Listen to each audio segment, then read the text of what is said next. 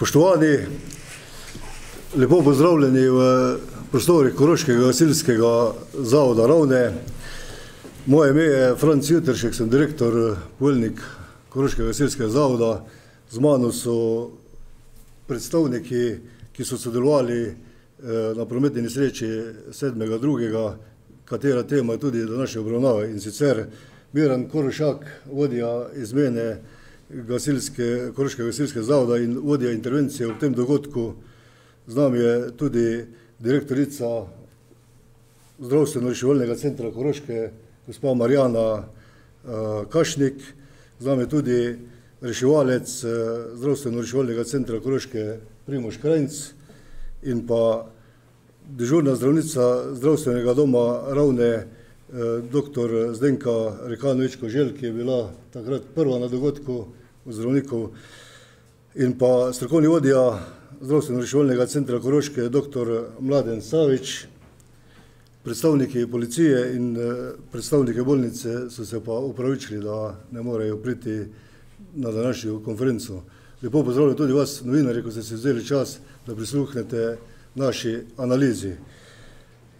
Kot se že uvodoma povedal, problem množične nesreče je dokaj neznanka vedno, kadar se dogodi, kajte to se ne dogaja pogosto in kljub temu, da pri nas nimamo avtoceste, da nimamo uh, velikega železniškega prometa, se, smo na tem primeru lahko videli, da se množične nesreče pripetijo v vsakem trenutku na vsakem kraju.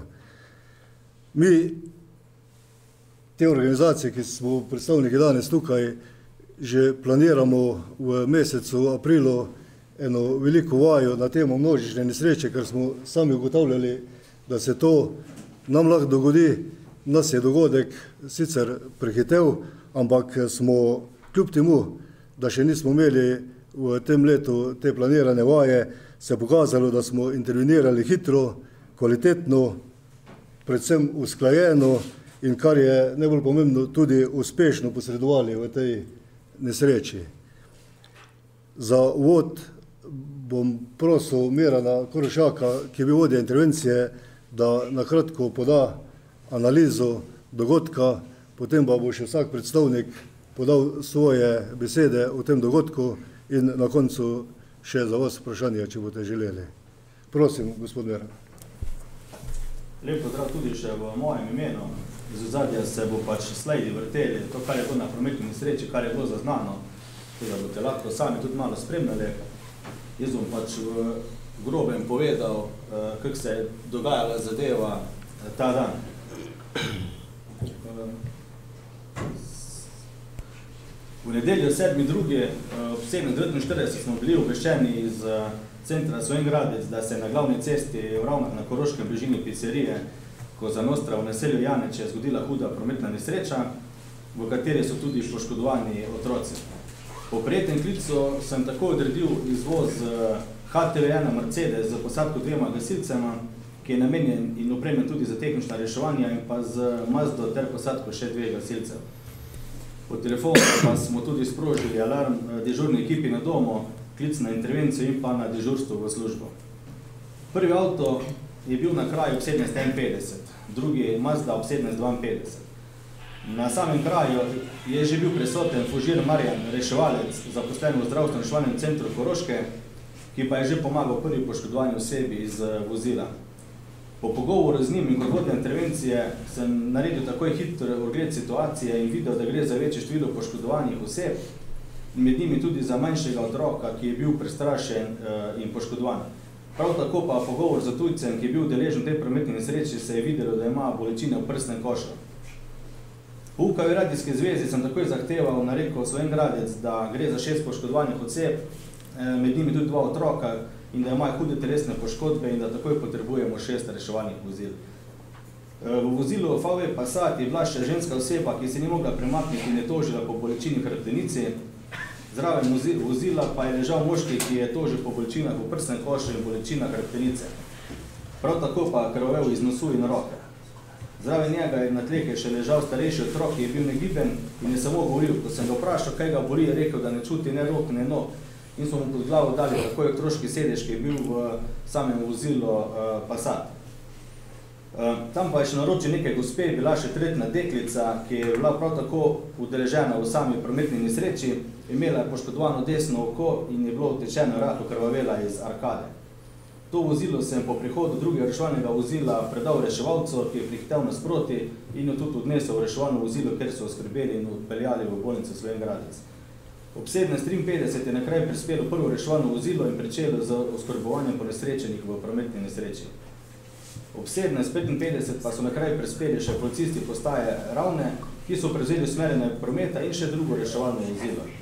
Na to pa so na kraj začela prihajati ostala reševalna vozila in pričela z okrbo ponesrečenih oseb. E, vse ponesrečene in že oskrbljene osebe, ki so čakali na prevoz v bolnico, smo pokrili z odejami, da jih ni zebo in tudi rahlo je priščelo škropiti in naletavati je začel sneg, kateri pa nesreče hitro ponehal. Medtem so nam preskočili na pomoč reševalci, ki so bili prosti v tem času in so doma bili v neposrednji bližini ali pa, ali pa so po UKV radijski zvezi slišali za to hudo prometno nesrečo in večje število poškodovanih. To so bili Nejc Grabner, Mitja Hrvatski ter Sandi Zlatar, zdravstveni tehnik iz urgentnega centra Splošne bolnice Sloven Gradec. Prisotna pa sta bila tudi zdravnik Terzija Neboša in pa zdravnica Zdenka Rekanovič Kožel, zdravstveni dom ravne na Koroškem. Pri vseh teh poškodovanih je šlo za sum poškodbe hrbtenice, zato je bila tudi potrebna še večja pozljivost pri sami oskrbi. Vsak izmed štirih poklicnih gasilcev, ki smo bili prisotni na intervenciji, smo pomagali pri oskrbovanju poškodovanih oseb, pri prenosu do reševalnega vozila, obenem pa smo še morali poskrbeti za samo varnost interventnih služb. Ehm, zaprli smo cesto po nasprotnem voznem pasu do prihoda policistov, usmerjali promet, poskrbeli za protipožarno zaščito in odklopili akumulator na teh vozilih. Reševalna vozila pa so takoj, ko so bile poškodovane osebe, oskrbljene in pripravljene za transport, le te odvažile tudi v urgentni center splošne bolnišnice Svengradec, najprej pa so bile seveda odpeljane vse teže poškodovane osebe. Na tej sami intervenciji se je pokazalo odlično sodelovanje vseh prisotnih služb, še posebej odlično bilo sodelovanje med poklicnimi gasilci in zdravstveno reševalnim centrom Koroške, ki so svoje delo upravili zelo profesionalno. Za strani zdravstveno reševalnega centra Koroške je bilo zagotovljenih šest reševalnih vozil, od tega dva Rijano mobila in štiri nujna reševalna vozila. Kljub velikemu številu reševalnih vozil, ki so, se, ki so bile udeležene v sami intervenciji, je bilo neprekinjeno na voljo še eno reševalno vozilo, ki je skrbelo za druge potrebe nujno medicinske pomoči v regiji. Istočasno pa tudi enota nujne medicinske pomoči zdravstveno reševalnega centra Koroške izvala nujno internistično urgenco, veliko vlogo predvsem dogajanja intervenciji strani reševalcev in razporejanja resursov, pa imel tudi dispečer zdravstveno reševalnega centra Koroške, ki je tudi koordiniral in vodil vse reševalne ekipe, ki so sodelovali na intervenciji in skrbel za zagotavljanje nujne medicinske pomoči v regiji. Najbolj pomembno je, da je v roku 50 minut, da so bile vse odrežene osebe v prometni nesreči oskrbljene in pa prepeljane v urgentni center splošne bolnišnice Svengradec na nadaljno zdravljenje Eh, sama cesta pa je bila zaradi prometne nesreče zaprta do 23. ure za ves promet. Toliko bi bilo z moje strani. Hvala, Miran. Eh, Preden da dam besedo operativcem, bi prosil še gospod direktorcu, gospod Marjano, da ona poda svoje mnenje o tem dogodku. Jaz bom kratka, povdarila bi pa predvsem to, kako ključno in pomembno je dobro sodelovanje vseh služb za zaščito in reševanje. Kajti, če so usklajene med sabo in dobro organizirane, lahko tudi dobro nujno medicinsko pomoč izvajamo. Pri tem bi predvsem, če se osredotočim na medicinski vidik, dejansko vidimo, kako zelo pomemben je primarni nivo zdravstvenega varstva.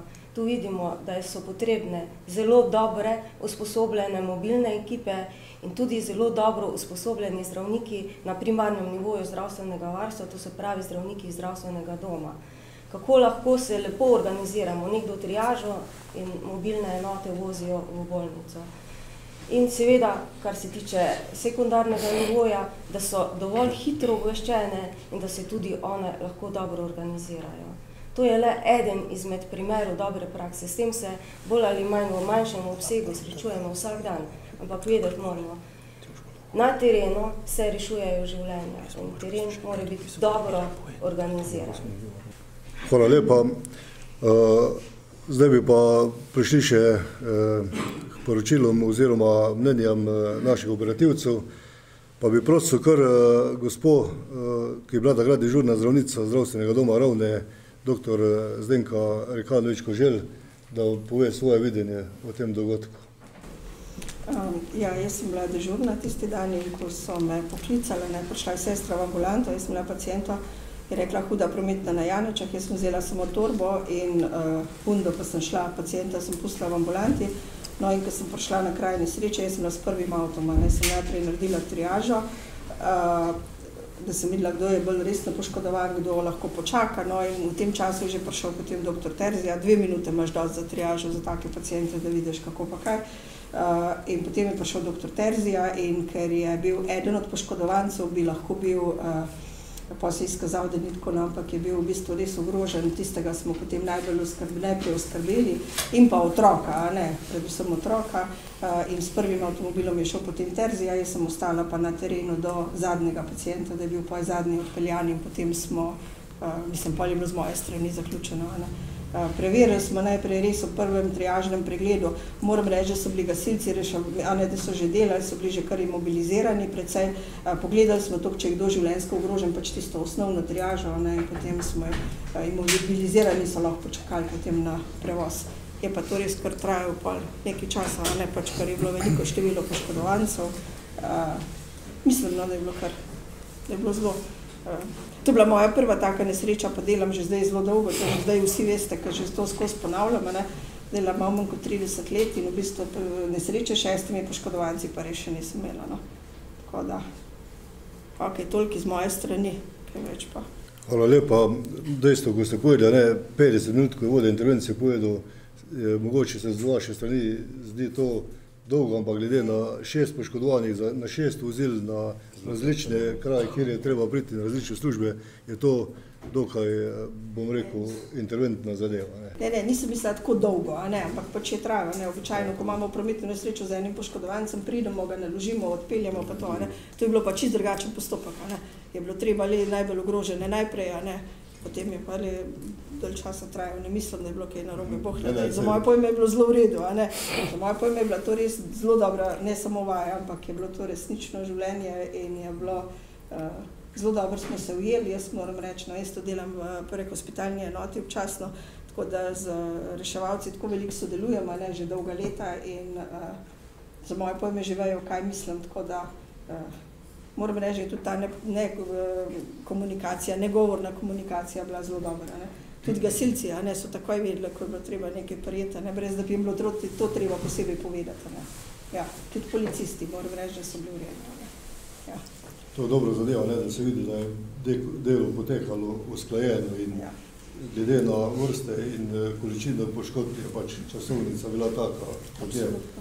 Prosim še strokovnega vodijo zdravnika doktorja zdravstveno reševalnega centra, koroške doktorja Mladena Saviča, da še on poda svoje mnenje. Pa jaz sem mogoče v začetku vam povedal, tu se je šlo res za množično nesrečo, ker množična nesreča po definiciji vsaka taka nesreča, ki jo ne moremo obvladati eh, z rednimi resursi. To pomeni, to je zahtevalo dodatne, dodatno aktivacijo uh, uh, tudi uh, vozil, tudi aktivacijo kadra. To pomeni, da je zelo pomembno in pravočasno ukrepanje in dobro sodelovanje s vsemi eh, drugimi službami. V tem primeru so se eh, bi izpostavili sodelovanje s Koroškim gasilskim zavodom predvsem in s policijo in tako naprej. Tako da je za uspeh te naše aktivnosti je zelo pomembno bilo usklajeno delovanje vseh služb. Tako da bi rekel, da tudi bi izpostavil, zelo je pomembno, da uh, sta uh, takrat uh, uh, delala dva izkušena zdravnika, ki sta uh, absolutno delala po vseh pravilih eh, pri taki nesreči in uh, zato je na koncu koncev uspeh te intervencije bil, bil zelo dober. Do sedaj tudi smo imeli, bi rekel, zelo dobro sodelovanje s Koroškim gasilskim zavodom, tudi s vsemi drugimi uh, gasilskimi zavodi, policijo tudi. Sam pravim, uh, tu bi izpostavil Koroški gasilski zavod na Ravnah, uh, s katerim izvajamo Eh, na konc koncev in redna izobraževanja in sodelujemo pogosto, tako da se zdaj vse skupaj to izkazalo kot zelo koristno in učinkovito eh, pri eh, tej zdaj intervenciji. Tako da bi rekel, ko ste rekli, je to intervencija, ki je imela šest poškodovanih, huje poškodovanih in je na koncu koncev pomembna ena pravilna oskrba, hitra oskrba, dobra triaža seveda na kraj dogodka, kar je naredila dr. Kožej in hiter transport do urgentnega centra. Tako da bi pohvalil vse službe, ki so sodelovali v tej, pri tej intervenciji. Vse s moje strani. Hvala lepa. V glavnem skozi se ponavljamo in poslušamo, da je zelo pomembno, da so vse službe dobro sodelovali, da smo imeli resurse na razpolago, predvsem redko daj se zgodi, da mora biti šest reševalnih vozil naenkrat aktiviranih, v tem primeru tudi toliko količina potrebnega kadra, zdravnikov in reševalcev in bi še dal na zadnje besedo uh, kolegu reševalcu uh, uh, Primožu Krajncu, da še on v imenu uh, Zavoda reševalnega centra Koroške pove, kako je on videl svoje videnje na kraju dogodka. Ja, lepo zdrav še z moje strani. Res je v bistvu, ko je zazvonil telefon pri našem dispečerskem centru, zdravstveno-šolnega centra, smo se vsi rahlo spogledali. Dispečer je takoj aktiviral dva realno mobila in pa tudi dežurno zdravnico iz zdravstvenega doma Ravne, da je odšla z prvim realnim mobilom na kraj dogodka. Realno mobila sta prispela že na kraj dogodka dve minuti po klicu na naš center, drugo reševalno vozilo minuto za njem in so začeli z izvajanjem triaže in pa oskrbo najbolj huje poškodovanih eh, poškodovancev. Takoj so aktivirali tudi dodatne ekipe iz enote Slovengradec, isto iz zdravstveno-reševalnega centra Koroška enota Slovengradec. Da je bil dan še popoln, je pa isti čas tudi potekala internistična urgenca v enoti Radle obdravi, enako zdravstveno-reševalnega centra Koroške, tako da je bil avto iz Radel obdravi zaseden z drugo intervencijo. Nismo mogli izkoristiti vseh resursov, ker je bila potreba po pokrivanju nujne medicinske pomoči tudi med intervencijo za celotno regijo potrebna. Uh, tudi zdravnika iz zdravstvenega doma Slovengradec nismo aktivirali, ampak smo ga pustili v dižurni ambulanti oziroma v urgentnem centru zeleno-moder sektor, da bi v slučaju urgentnega primera lahko šel na intervencijo.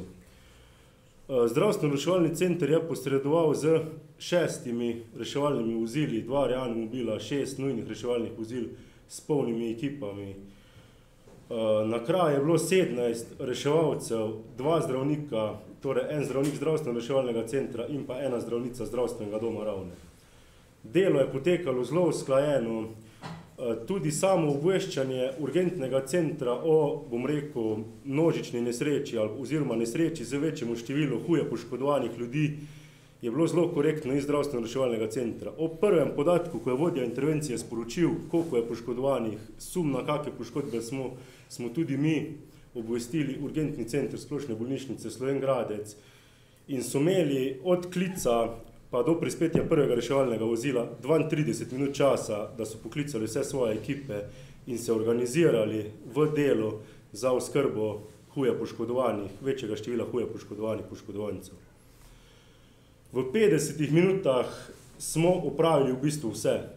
Zadnji avto je vodal od klica pa do odaje zadnjega avtomobila, poškodovanca zadnjega avtomobila je minilo nekoliko, okrog 50 minut.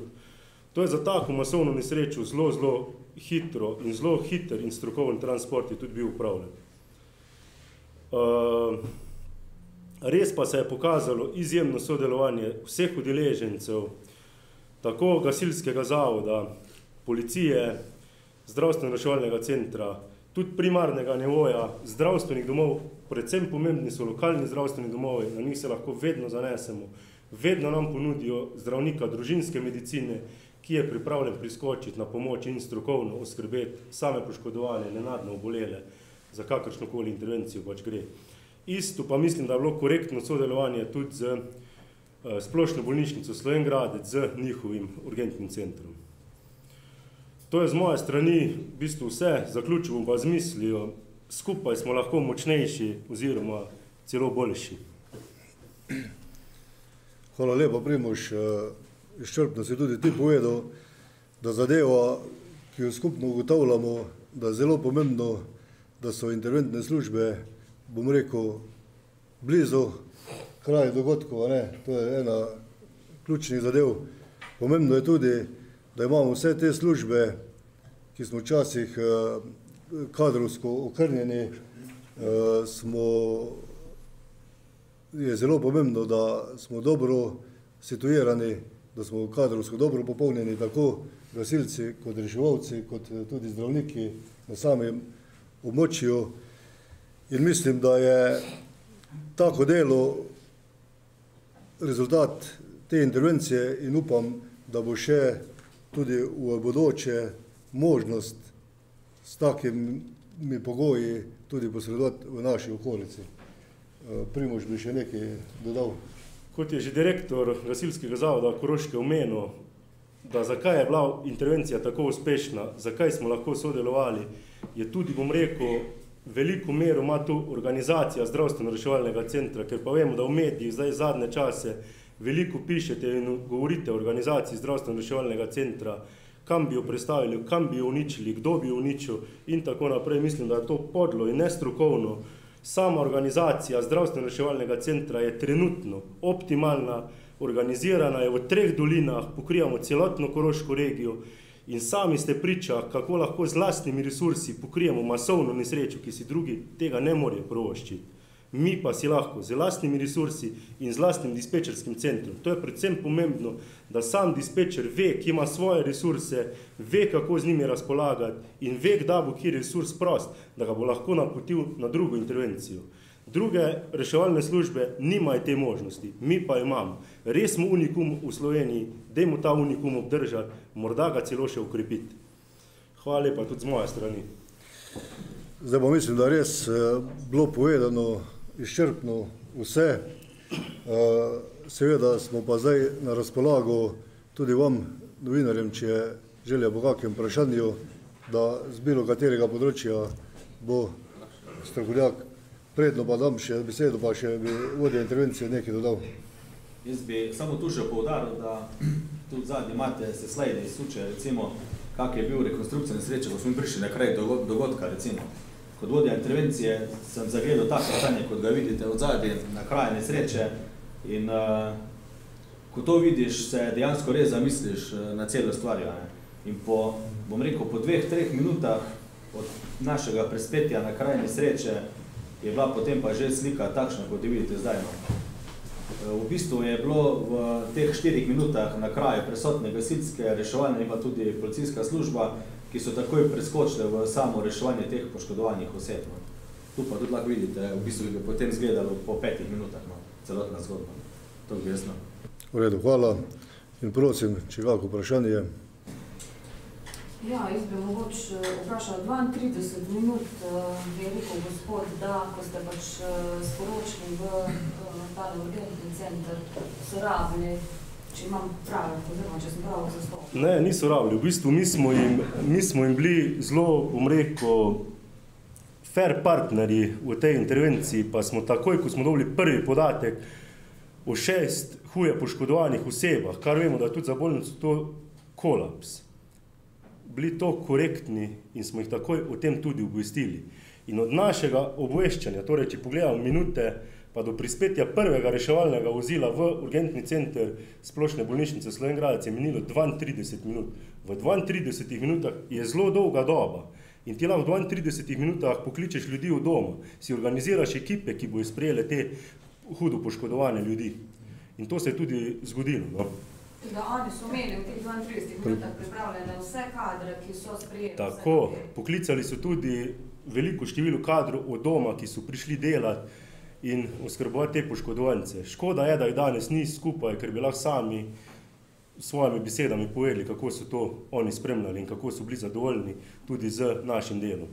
Uh, smisel je, ko pridemo mi na teren, da pacijenta tam oskrbimo, ne da ga samo naložimo, pa pelemo. Ne? Če bi ga mi samo naložili, pa pelali, potem bi bil verjeten tudi prej dol ampak mi ga, ne vem, orientacijsko ga moraš pogledati, nastaviš infuzijo, zdaj so bili pač vsi oblečeni, ga je treba sleči, ne, ko vidiš, da je nastaviš, mu daš neko terapijo, a ne, in to v bistvu Uh, smisel tega je, da ga oskrbiš tam in da ga potem oskrbljenega pošlješ. S tem smo mi že nek del, recimo mogoče dela, ki ga bi drugače lahko tudi urgenten center naredil. Ampak to so te prve minute, ki so najbolj pomembne. In če moramo mi nastavimo recimo infuzijo dva debela kanala, ne, potem tudi če ima on neke notranje krvavitve, bo zaradi tega vseeno preživel.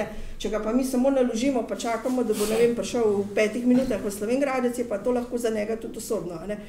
Eh, v bistvu smisel oskrbe je tudi oskrba na terenu. In ta oskrba je, eh, mogoče to pozabljamo, ker zdaj vsi samo govorimo o urgentnem centru, ampak urgenten center ni tu zdaj, mi smo pa tu zdaj ne? in je treba tu oskrbeti. Ne? In te pacijenti so imeli, vsi so imeli nastavljeno infuzijo, vsi so dobili protibolečinsko terapijo, vsi so bili imobilizirani ne? in to tudi zahteva svoj čas. Ne? Sam naložiti pa pelet, to je bilo mogoče, ne vem, jaz zdaj delam 25 let in mogoče je to bilo pred 25 leti, zdaj pa to ni več tako. Ne. Oskrba na terenu ne, mora biti kvalitetna in to je pogoj. Ne. To so tudi tiste minute noter, ko jih. Ne, res smo pa poklicali in obvestili, da pridejo, ampak pridejo že v določeni meri oskrbljenja. Ja. Imate pa podatke, kaj z vsemi? Uh, uh, jaz sem preverjala malo 200 uh, hujše poškodbe, ostali so pač. Otroke v Ljubljani. Da? En otrok je predstavljen v Ljubljani. Uh -huh, uh -huh. uh, uh, odrasel otrok. Ja, ja, ja. Uh, 13-letni. Ja, ja. Kako dve s hujšimi poškodbami? V bistvu to bi, naj, to bi najlažje bilo preveriti tudi v samo splošno bolnišnico Slovengradec, ker mi smo obravnavali vse kot hujše telesne poškodbe, kar so tudi bile iz terena, pol se pa te poškodbe tudi analizirajo v same, same bolnišnici. Uh, rad bi še izpostavil to, da ne boste zdaj vzeli, kot da smo samo zdaj obravnavali prometne nesreče ali pa poškodovane z velikim številom poškodovanih. Ti dogodki so se na Koroškem že dogajali, res ni bilo uh, nobene tiskovne konference, ne bom reč govoril za česa, ne. Spomnimo se na Uršlo goro, poškodba 13 planincev, ki jih je odnesel plas leta 2007, hujše prometne nesreče leta 2000. 12 v glavna cesta Radle Maribor, sedem huje poškodovanih in so jih tudi reševalci zdravstveno reševalnega centra Koroške z lastnimi resursi pokrili, oskrbeli in pripeljali v ustrezne centre. Da je bila ušla 2007? 2007. Kako so pa konkretno, zdaj, kot so se reševalna vozila pripravljala na kraj? Mogoče ste rekli, da nismo imeli. Uh, dva realna mobila sta štartala iz enote Ravne, uh, štiri realna mobili pa so štartali iz enote Slovengradec. Da je bil dan popoln, smo pa rekli, da je enota Radlja obdravi že obravnavala internistično urgenco isti časovni, časovno obdobje. Veš, avto je bilo fraj še v tistem trenutku? En avto je bil še vedno na razpolago z polno ekipo, ki bi lahko pokril, ki bi lahko pokril uh, akutno dogajanje po celotni regiji.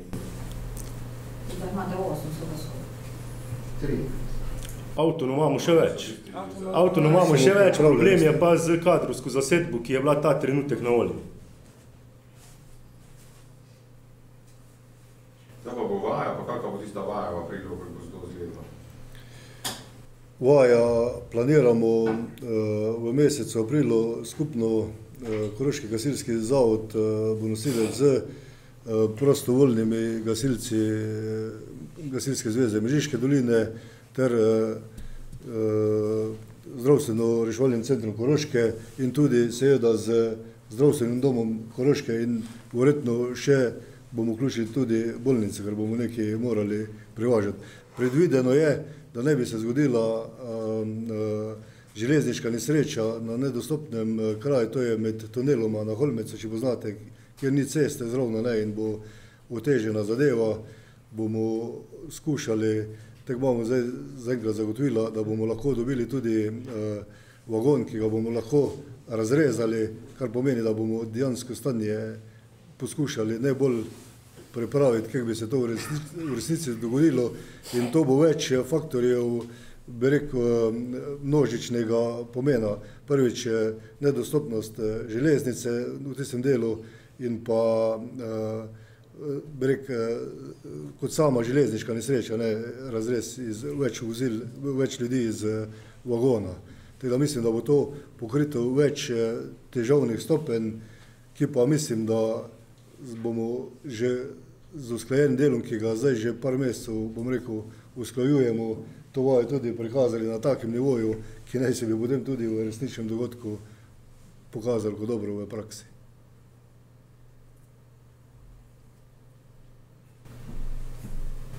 V kakšnem primeru bi pa helikopter vam bil na voljo?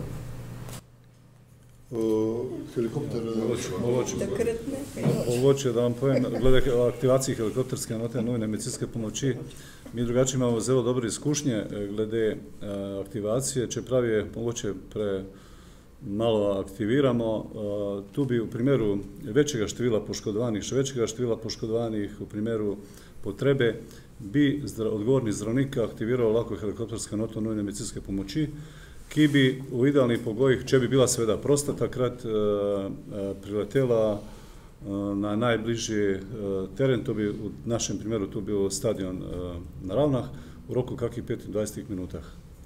Tako da bi, to, to bi pod idealnim nekim pogoji, bi eh, tudi helikopterska, aktivacija heliko- helikopterske enote nujne medicinske pomoči prišlo poštev. S tem, da v tem primeru zdaj to ni bilo potrebno, tako da. Recimo, šest je velika številka, ampak kaj pa, če bi imeli avtobus s 50, pa bi imeli še, pa bi pa hitro imeli bistveno več poškodovanih, hitro bi imeli.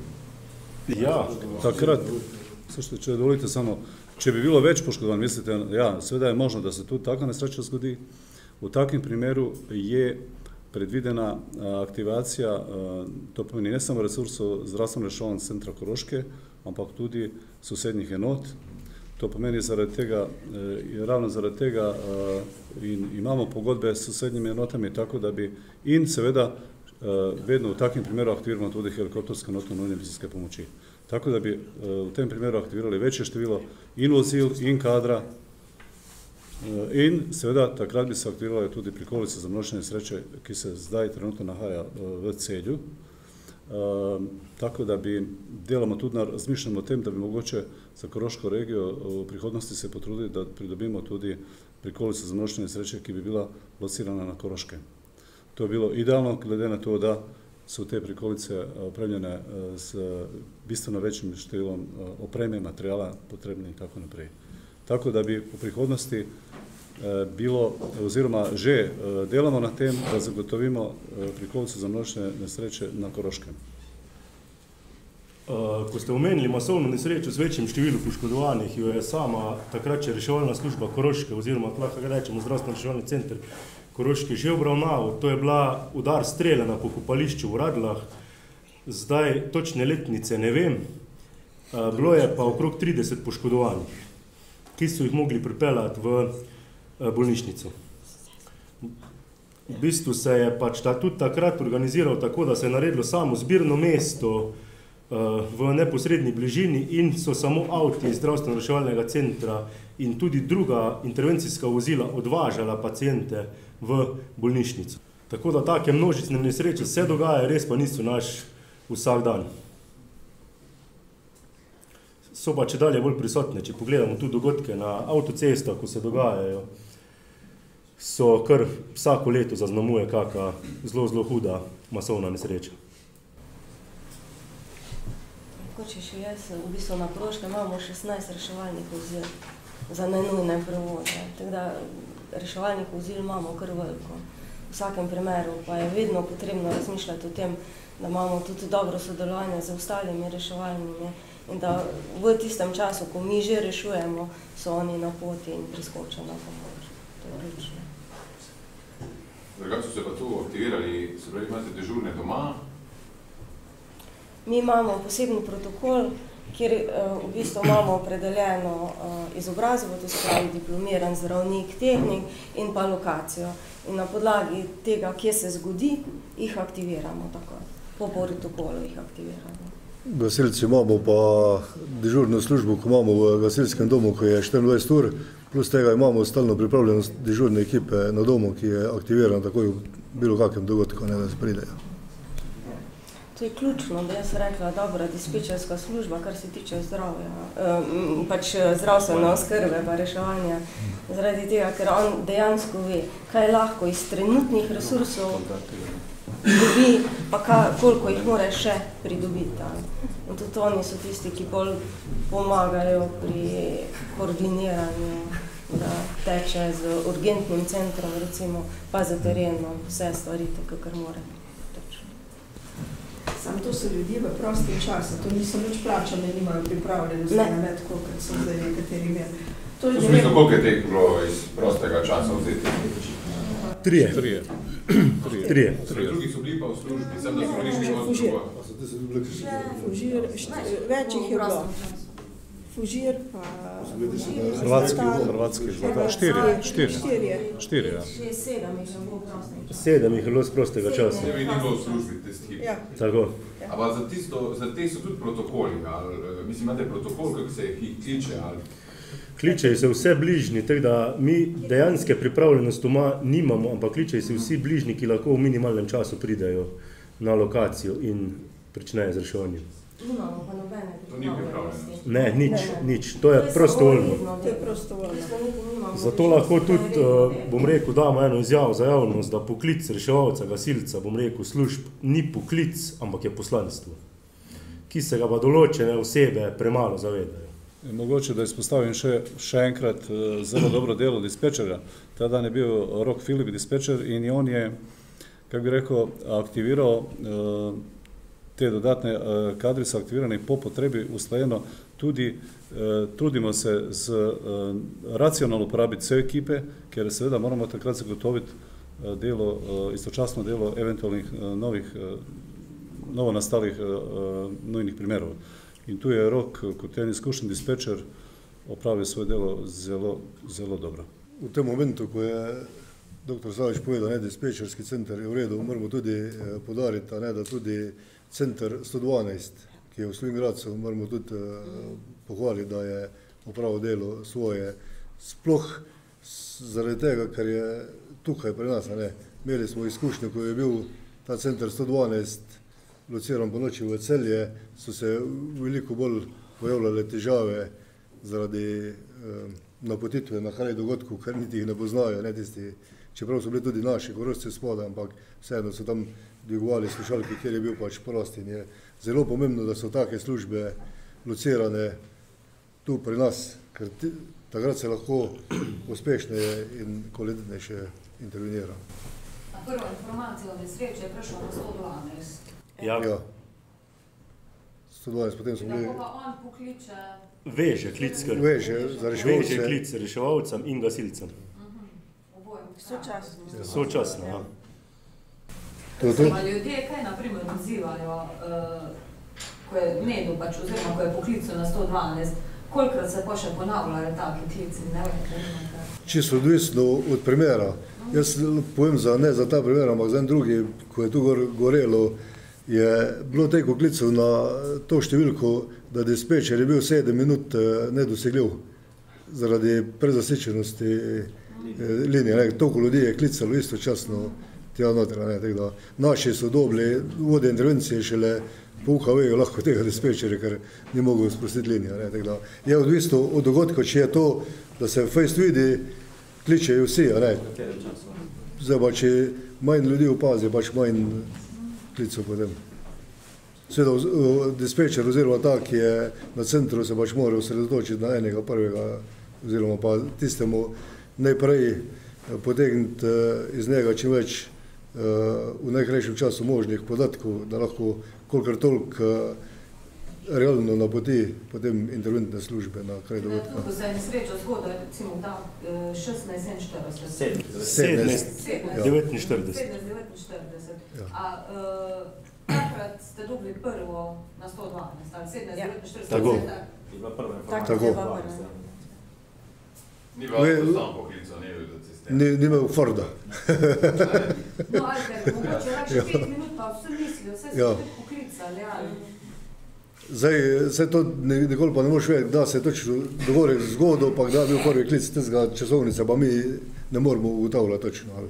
Ampak bistvo je, da, eh, tako je Juri rekel, velik dober primer bo, ko bi se avti zdaj imeli klicali, ali. Tako, zaenkrat, ja, ampak zdaj, uh, marca 2018, uh, ja, v Evropski uniji bo treba to obvezno zadevo in je. Vsi smo imeli mi lani prometno nesrečo. na- Se ve, se, se na to podlage je zdaj rekel, zakaj je avto sam pozicij. Dobro, Mogoče bi še bilo dobro. samo, samo malo še. Jaz bi še izpostavila to uh, gasilska društva. Imajo tudi zelo dobro, oziroma jih bi rada pohvala, prve pos- posredovalce. Mi imamo 12 gasilskih društv, ki uh, izobražujejo v bistvu koronarni klub, zdravstveno reševalni center jih izobražuje in zelo so motivirani, kažejo se že prvi uspehi. Dejansko imamo pri, uh, Peter pomagi 208 prvih posredovalcev že izobraženih. Ja, na Koroške. In to je tudi ena ekipa, ki nam lahko zelo, zelo pomaga.